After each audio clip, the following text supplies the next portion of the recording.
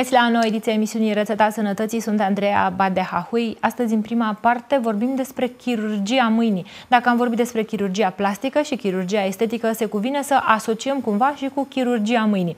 O specialitate mai puțin practicată în țara noastră, în județul Constanța cu atât mai puțin. Totuși, ne-am întâlnit cu un specialist, am fost la el în cabinet și am vrut să înțelegem ce înseamnă această specialitate pe care o practică cu pasiune de câțiva ani.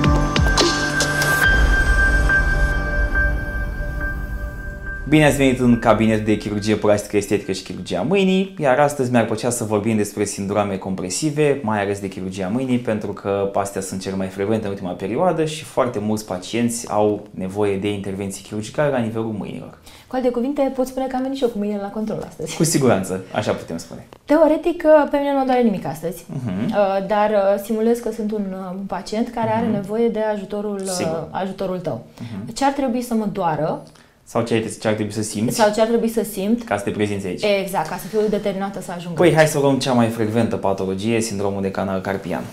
Să spunem că ai sindrom de canal carpian și faci următoarea și se întâmplă următoarea chestie. Te trezești noaptea din somn, ori te doare foarte tare aici, ori amorțește degetul ăsta, ori amorțește degetul ăsta, ori degetul ăsta, ori toate împreună simți că nu mai ai forță și când te trezești dimineața, simți așa că ai vrea să faci mișcarea asta, ai vrea să scuturi mâna, ai vrea să poate să o bagi în apă caldă, poate să o folosești foarte mult, să faci mișcarea asta foarte că e des. Că exact, simți înțepenită. Că înțepenită, amorțită, furnicături, durere, amorțeală, dar în principal degetul acesta, acesta, acesta și poate și parțial degetul acesta, cu siguranță nu acesta și nu jumătatea asta. Cel mai frecvent, durere aici, lipsă de forță și degetele astea trei amorțite. Și dureri sau amorțiri în palmă. Sindrom de canal carpian. Și de ce? De ce apare? Da, de ce, odată de ce apare și de ce e localizat doar în zona asta și nu vine și în partea asta altă? În primul rând, nervul median inervează degetul mare sau policere, degetul 2, degetul 3 și jumătate din degetul 4. Nervul ulnar, care vine pe aici, care nu are treabă cu canalul carpian, inervează degetul ăsta și jumătate din acesta. De ce canal carpian? Cum ne folosim noi mâinile în ziua de astăzi și cum le foloseam în trecut? Luam surița, înfigeam în căprioară, o trăgeam în peșteră, ne iubeam soția și cam asta era ziua noastră de muncă. Acum, tastatură 12 ore pe zi, telefon, mouse, bisturiu, telecomandă, uh, eu știu, um, diverse unelte de vibrații, picamăr, bormașină, etc. Noi ne folosim acum mâinile și, nu uita, trăim mai mult decât trăiam înainte. Înainte cât era speranța de vârstă?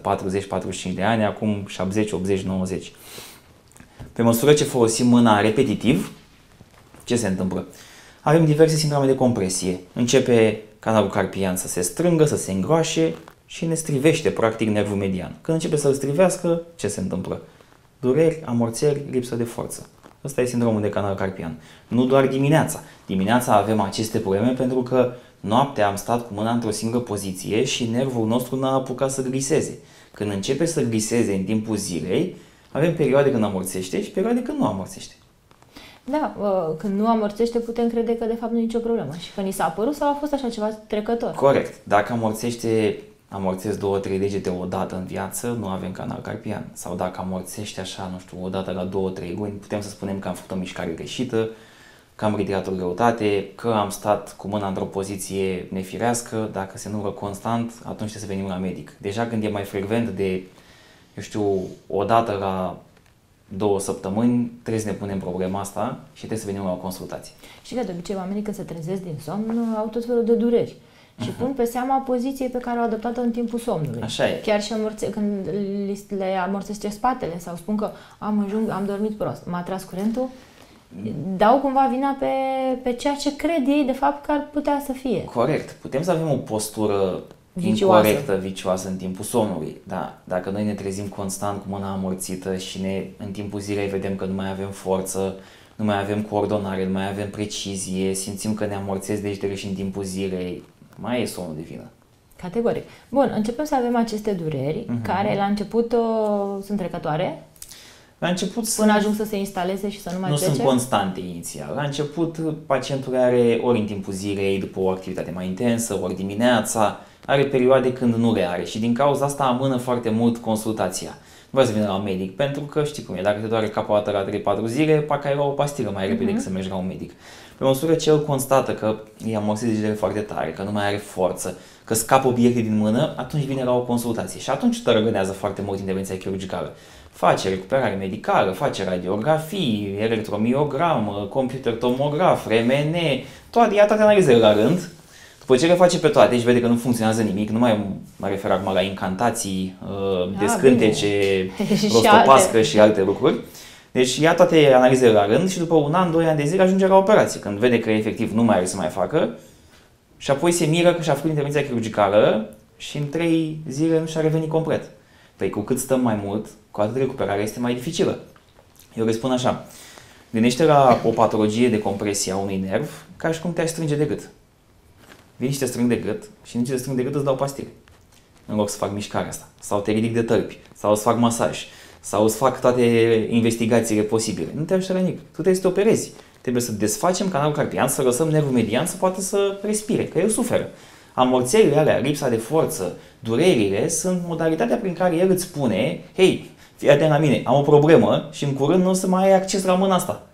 Fă ceva legat de asta. Și tu nu faci nimic. Cei care se hotărăsc să facă?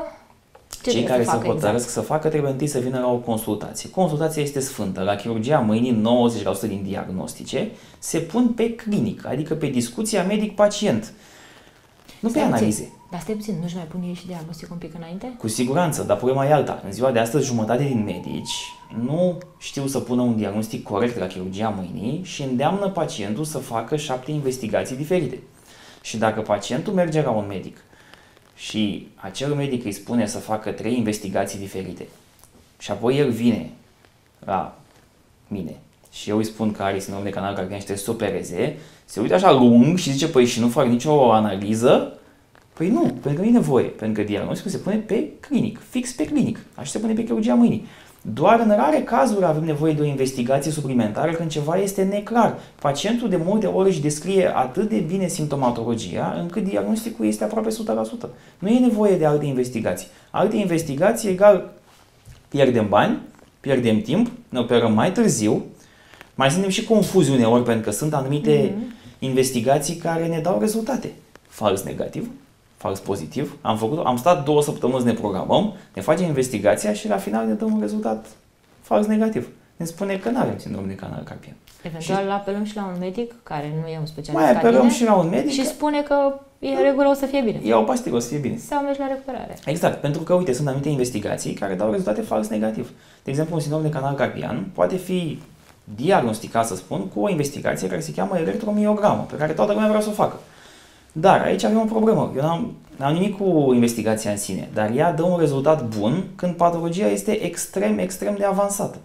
Pentru că, cum funcționează ea? Canalul carpian e destul de profund. Nervul median este sub canalul carpian. Electromiograma transmite impulsuri nervoase.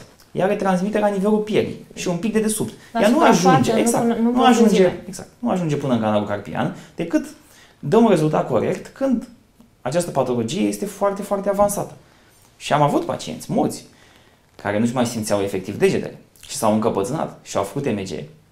Și unor li s-a spus la MG că nici măcar nu au canal carpian sau că nu sunt în faza chirurgicală, care nu există, apropo, fază chirurgicală și fază non-chirurgicală. Când ai canal carpian, te operezi. Nu există fază chirurgicală. E ca și mai spune, am apendicită acută, dar nu e fază chirurgicală. Păi dacă s-a inflamat apendicul și trebuie scos, trebuie scos. Că după aia faci peritonită și o să vezi că, din păcate, ajungem... Dacă poți să mai vezi, că e posibil să nu mai Dacă vezi. poți să mai vezi, exact. Deci nu, nu trebuie să tărăgănăm aceste intervenții chirurgicale. Bun, se hotărăște pacientul să, mm, se opereze. să se opereze. Ce înseamnă? Ce e... presupune? Pentru că atunci când spunem operație, mm-hmm. ne gândim la anestezie, oh, la sedare, la pregătirea de dinaintea intervenției, la intervenția propriu-zisă mm. cu riscurile aferente, mm. la trezirea din anestezie și la recuperarea care, deci omul asociază o intervenție chirurgicală mm-hmm. cu mhm. cel puțin etapele pe care le-am Toate enumerat. aceste etape aparțin secolului trecut. Anestezie locală, vine pacientul mâncat, cu apă băută, fără cafea, facem o găurică mică, fix aici, introducem o canulă, introducem anestezic local, oprim durerea, oprim sângerarea, nu mai sângerează pacientul, două picături maxim această intervenție chirurgicală, îl lăsăm să se relaxeze jumătate de oră, dăm o incizie mică, desfacem canalul carpian printr-o incizie jumătate din mărimea canalului carpian, adică dacă el e să zic cam de aici până aici, noi dăm o incizie și cam jumătate, 2 cm. L-am desfăcut, hemostază, nici nu prea ai nevoie, pentru că acea substanță pe care o introducem ne oprește sângerarea, te va fi la piele și pacientul mai stă jumătate de oră, se relaxează și merge acasă. În nu total? este cu totul o oră jumătate. De când intră, de când pacientul Începe să fie pregătit. de când pacientul începe să fie pregătit până când pacientul iese pe ușă, probabil o oră și jumătate, maxim două ore dacă e mai sperios pacientul. Deci nu, nu există atere, nu există gips, nu există internare, nu există intubație, nu există decât niște analize de bază, o anestezie locală, fără durere, fără sângerare. Pacientul este acasă în aceeași zi și cel mai important își folosește mâna post-operator. Când? În ziua, în ziua operației. În ziua Nu e operației, riscant, având în vedere că Absolut deloc. Pacientul postoperator, și o să-ți arăt multe cazuri și o să le postăm, uh, pacientul postoperator își folosește mâna pentru chestii simple, telefon, telecomandă, uh, probabil obiecte ușoare. mâncat, pieptănat, regat rașireturi, tot ce ține de viața lui de zi cu zi, dar fără greutăți, el poate să facă din ziua intervenției chirurgicale fără riscuri. Bun. Cât timp trebuie să aibă așa o ușoară grijă de, de mânuță? Grijă în ce sens? Să nu ridice greutăți? Să nu ridice o lună de greutăți. zile. Nu are voie să ridice greutăți mari. Oricum, corpul pacientului o să-i spună. Dacă ai făcut o mișcare mai bruscă și te-a durut, ai modalitatea corpului de a spune, mă vindec, ia o pauză. Nu ia o pastilă, ia o pauză. Dar imediat după operație, pacientul își folosește mâna. Gândește că am foarte, foarte mulți pacienți pe care îi operez bilateral și ai văzut atâtea Asta am cazuri. vrut să întreb. Uh, se întâmplă și unei mâini Da, și, normal, și celelalte? constant. Sau în principal mâna care este cel mai dos folosită? jumătate, Stângaciul, deci stânga, eu stânga tu, și... tuturor pacienților le propun dacă au patologie bilateral să-i operez bilateral și îi operez bilateral. În același timp. În același timp operator și pacientul ce face când ajunge acasă? Trebuie să folosească mâinile, n-are de ales. Și le folosește și mănâncă și se piaptănă și se spală și se leagă la șireturi și tot ce ține de chestii basic de zi cu zi Mhm, le le pot face face. din ziua intervenției chirurgicale și pun des filmări pe internet cu pacienți, inclusiv în operație, burat aici, cum își mișcă mâna și imediat după operație cum folosesc mâinile pentru chestii ușoare. Este o patologie mai des întâlnită la persoanele tinere sau la vârstnici? Este o patologie des întâlnită, mai des întâlnită la femei decât la bărbați, pentru că femeile au încheietura mai mică și canalul carpian este mai îngust, cam de vreo două, trei ori mai frecventă la femei decât la bărbați și media de vârstă este undeva 38-60 de ani, cam așa, 40-60 pe acolo. De prevenție putem vorbi? Um, Adică, știi, e foarte greu să spui unui pacient să prevină un, apariția unui sindrom de canal carpian. Jumătate din colegii mei de chirurgi am operat de sindrom de canal carpian. Mai toți, și eu o să ajung operat la un moment dat. E, Cum să-i spui unui ITist, O să lucrezi cu o mână la cealaltă și invers? sper să reușesc. Cum mai aș putea să-i spun unui, unui, uh, eu știu, programator? Trebuie să prevenim apariția unui sindrom de canal carpian, nu mai programa, Păi vezi, știi, cumva- nu mai tasta. Adevărat, N-ai cum. Cumva încercam să asociez uh, grupele de vârstă, am înțeles, uh, N-ai distribuirea cum, pe secție, N-ai așa am cum să înțeles. o faci o Mă gândeam profilaxie. Că cumva bă, afecțiunea asta e mai des întâlnită în rândul celor care lucrează la calculator. Este mult mai des întâlnită în rândul celor care își folosesc mâna constant și repetitiv. Programatori, chirurgi, pianiști, violonceliști, scriitori, profesori, etc. Sau și cei care au ridicat greutăți constant. Da, clar. Adică, știi, mi-am operat foarte mulți colegi chirurgi de sindrom de canal carpian. Să nu mai operez acum, că o să fiu operat de sindrom de canal carpian? Nu. O să Nu, operez mai în ales că continuare. intervenția la cum o descrii cât se poate de, de ușoară Extrem și faptul că poți să de- te miști, să-ți miști mâna imediat după aceea, Extrem. e un avantaj major. extrem de ușor de tolerat de către pacienți. Deci foarte, foarte ușor. Tot, toți se sperie înainte de operație, vin panicați, stresați, îi întreg printr-o intervenție chirurgicală, cum o să fie, nu dorm noaptea. Deci când se termină operația, sunt, asta e tot? Asta a fost tot? Nu mai, nu mai e și că nimic? așa se întâmplă Ai- totdeauna. Tot timpul, tot timpul, da. De aici și feedback-urile pozitive. Pentru că în- până în momentul intervenției ești uh, speriat, îngrijorat. Corect. Iar în momentul în care ai terminat și dai seama că ți-ai făcut griji degeaba, uh, toate cuvintele de laulă la adresa medicului uh, Când vezi vin că nu foarte te ușor. internează, nu te anesteziază general, nu primești Nu te gips, doare. ateră, nu te doare, poți să folosești mâna imediat după operație, ar fi și păcat să nu o lauzi un pic. Corect. Foarte adevărat. Cu ce alte probleme ne-am mai putea confrunta la nivelul uh, Păi, mâinii? Frățiorul lui, canalul guion. Canalul guion, nervul urnar. În imediat apropiere, bănuiesc. Imediat apropiere, vine pe aici, intră în canalul guion, la fel, aceeași poveste, se strânge în jurul lui, numai că ne amorțește degetul mic. Durere în zona asta unde arăt eu aici, amorțește degetul mic, jumătate din degetul acesta amorțește, simțim aici durere, cam asta e canalul guion. Aceeași poveste, anestezie locală, incizie minimă, cu mențiunea că foarte mulți pacienți au ambele, canal carpian, canal guion. Când pacienții au ambele patologii, nu facem două incizii sau două găuri pe românește. Facem una singură. Numai că în loc să facem una mică aici pe mijloc, facem puțin mai încoace. Ca să avem acces în ambele Exact. zone. Și puțin mai lungă cu jumătate de centimetru pentru că nervul urnar e mai șmecher. Și aici el intră profund și când intră profund, ca să poți să ajungi la el, trebuie să mai lungești un pic incizia. În loc de 2 cm, are 2 cm jumate.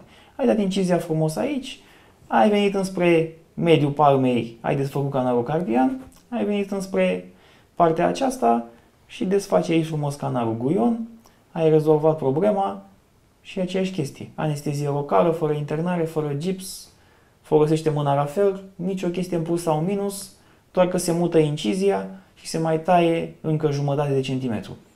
Și durează intervenția chirurgicală cu jumătate de oră în plus. Se refac repede sau se reface repede incizia? Uh, Te referi cât de repede se vindecă cicatricea? Da. Orice cicatrice are... Și să-mi zici dacă îți strânge mâna cu ceva, așa. Nu. Îți rămâne normal, nu? Normal, normal. Uh, Orice cicatrice are o evoluție până la un an de zile în care tu trebuie să ai grijă de ea. Trebuie să folosești un gând de cicatrizante, trebuie să nu o expui la soare și trebuie să nu o traumatizezi. Fiind o zonă funcțională, pe noi întâi ne interesează funcția mâinii și abia apoi estetica. Adică nu o să fie o cicatrice urâtă și de multe ori dacă ne uităm pe pacienții pe care îi și postez des, la două, trei luni abia se mai vede o dungă fină. Dar scopul meu principal e funcția. Eu vreau să refac întâi funcția mâinii. Mâna e funcțională, e tot în regulă, după aia putem să ne gândim și la estetică. Dar crede-mă că n-am avut până acum niciun pacient care să vină și să zică mi se vede o dungă fină în palmă aici, aș vrea să fie o dungă mai frumoasă. Nu, e o dungă fină în palmă și oricum avem dungi în palmă dacă ne exact. uităm că... Vine în completarea celor deja existente. Ghicitoarea știe mai bine câte, câte dungi avem în palmă, deci e una în plus ca să-i dăm bătăi de cap. Corect. Uh, O ultimă întrebare mai am. Ce se întâmplă dacă totuși pacientul cu astfel de problemă Nu vine. Nu vine. Nu vrea să vină, se amână, încăpățânează. Da, amână, nu știu, își gestionează mai corect durerile, su începe să suporte. Păi zic eu ce face. La un moment dat, în viața lui, poate peste un an, 2, 3, 4, depinde de pacient, efectiv nu o să-și mai poată folosi mâna. Nu o să mai aibă forță deloc, nu o să-și mai simtă degetele absolut. Gândește ca atunci când dormim cu paralizia bețivului, dormim cu capul pe mână și e momentul ăla critic când îți amorțește mâna și nu mai nu mai simți simți deloc, deloc, deloc. exact. Până încep furnicăturile, ai un moment de 5-10 secunde în care tu nu-ți mai simți mâna absolut deloc, e creangă, te uiți la ea și nu știi să întâmplă cu ea. E, ea, el așa rămâne, pacientul. Atunci dacă ar fi să se opereze? Păi atunci dacă ar fi să se opereze, recuperarea cred că e 50% maxim. Din fericire n-am avut. A, am avut o singură pacientă care s-a încăpățânat. A, a fost pe la mulți medici, au tărăgănat-o și ei, a tărăgănat-o și ea și a venit cred că la 5 ani distanță, 6 ani distanță. Mi-a părut rău de ea pentru că am operat-o și ea a trecut de la uh, n-am forță, mă doare, uh, furnicături, nu mai îmi simt mâna aproape deloc, nu știu dacă a ajuns chiar în pragul în care nu mai simțea absolut deloc, dar 70% din ea nu mai simțea. Am făcut operația și a, apoi gândește să ai 6 luni de zile de ne întoarcem la furnicături. Știi că atunci când îți amorțește mâna și încep furnicăturile alea super enervante, e, imaginează-ți să ai asta timp de 6 luni de zile. Este groaznic. Și apoi și-a revenit, dar în proporție de 60-70%, adică 100% nu, nu. Pentru că a stat foarte, foarte mult. Când cu cât, e, gândește, exact cum spuneam, ca și cum ne strângi de gât, dacă te strâng de gât un an de zile, adică nu poți să stai efectiv corect, ani da. și ani și ani de zile. Nu o să fie aceeași recuperare. Vrei o recuperare bună? Ai durere, amorțări, furnicături, vină la o consultație peste o lună, două, trei de când am început, facem operația, o să fie la 100%. Am sute de pacienți operați la timp sau mai mult sau mai puțin la timp, că și dacă întârzi o lună, două, nu se întâmplă nimic, și care au recuperare 100% și sunt foarte mulțumiți, foarte fericiți, muncesc, fac și sală de fitness, nu au nicio treabă.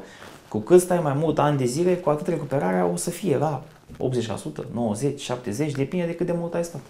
Eu mă gândeam că o să-mi spui asta, n-aveam așteptări să-mi spui Da. că ar putea fi mai bine, dar era important ca cei care ne urmăresc Da. să audă din gura ta. Da, pentru că uh, știi care e problema? Dacă ceva ne doare foarte tare, venim la medic. Dar dacă vorbim de amorțeli, furnicături... Care trec? Care, și dacă nu trec, nu ne... Pe noi durerea ne duce la medic.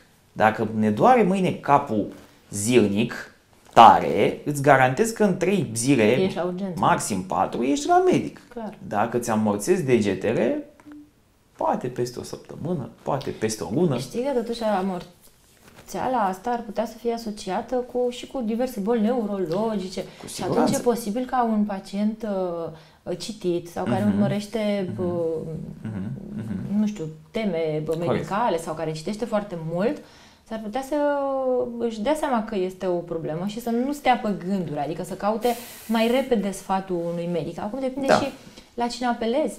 Pentru că eu asta am remarcat de-a lungul timpului de când fac eu această emisiune medicală, uh, faptul că sunt uh, oameni care înțeleg că trebuie să ajungă la medic, însă cer părerea unui medic care nu cel mai bine informații, cel mai bine uh, cel mai da. în măsură să direcționeze corect. Da. Și e trist că se întâmplă lucrurile astea. Știi, eu am o teorie și tu ai perfectă dreptate aici.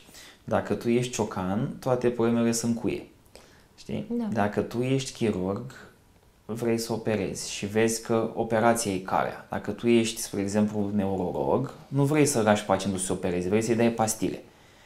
Dar sunt cazuri ce doar prin operație se vindecă și sunt cazuri când poți să dai pastile și pacientul să fie mai bine. Sindromele de compresie nu se vindecă prin pastile, niciodată. Corect, de asta Ele spun. se vindecă doar de prin... Spun că... Și de multe ori avem, avem tendința, ca să nu zic au anumiți medici tendința, să dea rezolvarea pe care pot ei să o dea. Noi nu avem chestia asta în cultura noastră. A venit pacientul, are sindrom de canal carpian, eu nu pot să-l vindec dându-i Tador și Milgama. Sau cel mai bine îl, se ocupă X de el. Trebuie să-l trimit la chirurg. Acolo. Și nu vreau să-l trimit la chirurg. A venit la mine, îi dau repede o rețetă și dacă nu vă trece domnul, mergeți la chirurg. Păi nu o să vă treacă domnul. Nu e nicio șansă să vă treacă. Da, o să vă simțiți mai bine dar o să vă simțiți mai bine pentru că facem nervul să tacă, nu pentru că nu mai suferă. Asta e problema cu pastilele. Aici nu înțeleg mulți pacienți și din păcate mulți medici. Lor le și convine, pacientului convine. Câte vreme un medic ți-a da, spus să iei o pastilă, da, da. e mai ușor de înghițit o pastilă da, și dar nervul să suferă în continuare. zi, două, că tu nu mai ai dureri, exact. decât să te duci să te operezi. Adică tu, uite, gândește așa, ai un canal carpian, te doare foarte tare aici, și eu am două variante. Ori te vindec desfăcându-ți canalul, ori îți dau o pastilă antidurere. Eu îți dau o pastilă antidurere și tu ești fericită. Zici, ah, m-am Că nu mai simt durerea. Nu mă mai doare, sunt bine acum, pot să-mi folosesc mâna. Dar nervul ăla suferă în continuare, tu doar l-ai făcut să tacă. Că el îți tot zicea, Andreea, mă... Și oricum la un moment dat o să-mi zică și sub alte un, forme. Adică... La un moment dat, după o săptămână sau o lună, pastila aia nu o să mai funcționeze și nervul ăla care inițial era așa un pic strâns de gât, acum este gâtuit maxim. Și tot și... acolo ajungi tot și acolo ajungi, ajungi forțat. și recuperarea e mai grea. Mai grea. Mult mai grea.